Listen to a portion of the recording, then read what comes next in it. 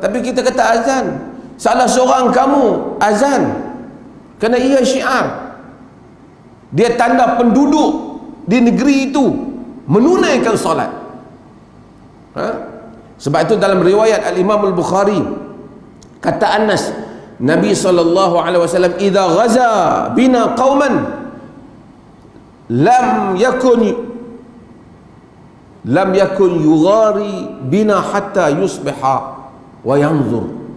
Nabi bila perang Nabi tak akan perang sehingga tunggu subuh. Nak dengar dulu. Kalau dia dengar azan fa idza sami'a adzanan kaffa anhum. Kalau dengar azan jangan serang.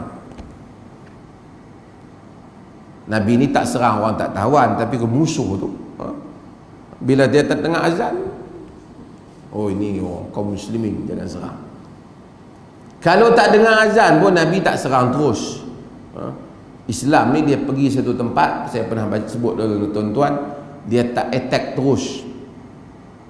Memang dia buat serang. Orang tak tahu apa serang Islam dia tak buat. Dia hantar surat. Untuk dia pun terima surat dia bagi warning dia jemput masuk Islam.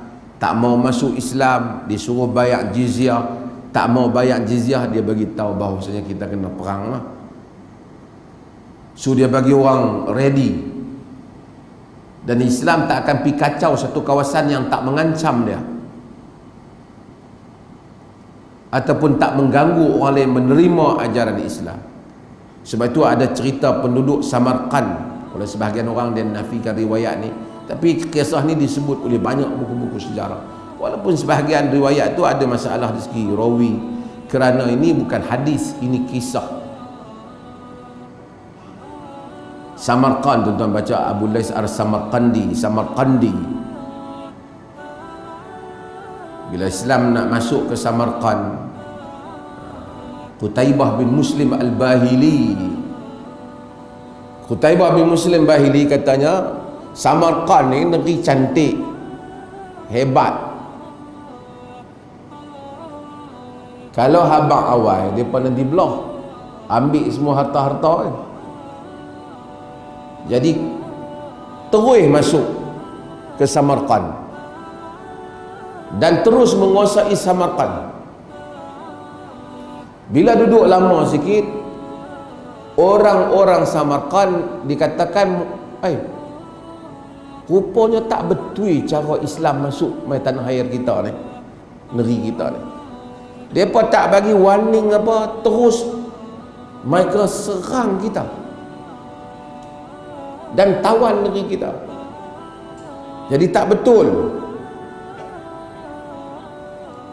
Kat, dalam riwayat sebahagian kata mereka hantar orang pergi jumpa Umar bin Abdul Aziz.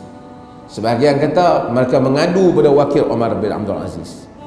Bila mengadu wakil Umar bin, kepada Umar bin Abdul Aziz sebagai khalifah nu di, di Dimashq jauh. Umar bin Abdul Aziz tengok kes dia suruh buat mahkamah. Bicarakan tentera yang masuk tak mengikut prosedur. Bila surat sampai qadi hakim mahkamah besar. Qadi ni hakim hakim utama negeri panggil. Hakim ketika itu Jumai bin Hadir Al-Qadi.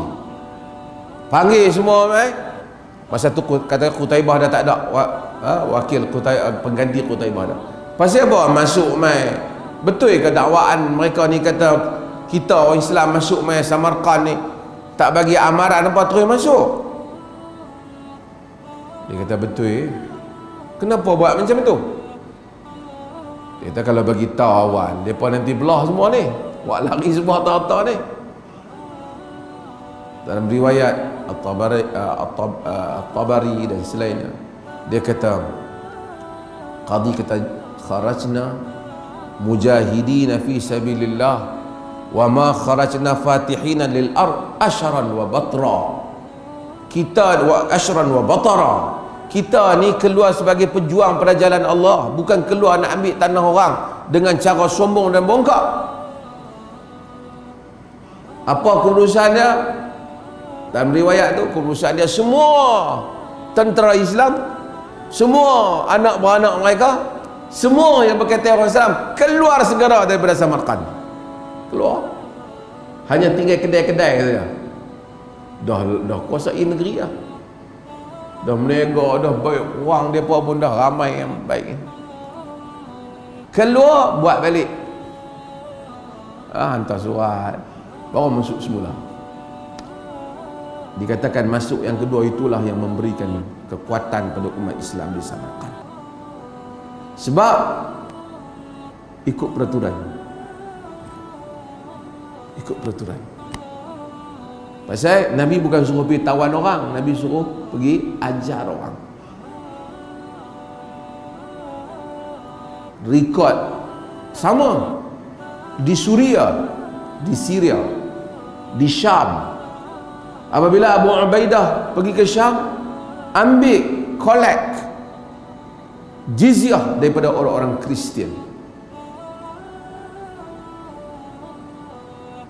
tapi apabila Rom menyediakan pasukan yang besar yang pada andaian orang Islam tak boleh nak lawan eh. sejarah menyebut Abu Ubaidah pergi bagi balik jizyah ke orang Kristian nah ambil balik duit apa Siapa? Takut kami tak boleh nak protect hamba kalau perang eh. Pun tak pernah ada pengalaman hatta dengan yang seagama dengan mereka. Bila dah tentera ambil duit nak bagi balik. Bagi balik. Tak ambil balik. Tapi kemudian perang orang Islam menang. Orang Islam masuk. Kekal di Syria. Kekal di Syam. Kekal di Syam tu menyebabkan orang Kristian keluar mengucap asyhadu an la ilaha illallah wa asyhadu anna muhammadar rasulullah. Sebab itu disebut sini tentang azan adalah merupakan ha, merupakan syiar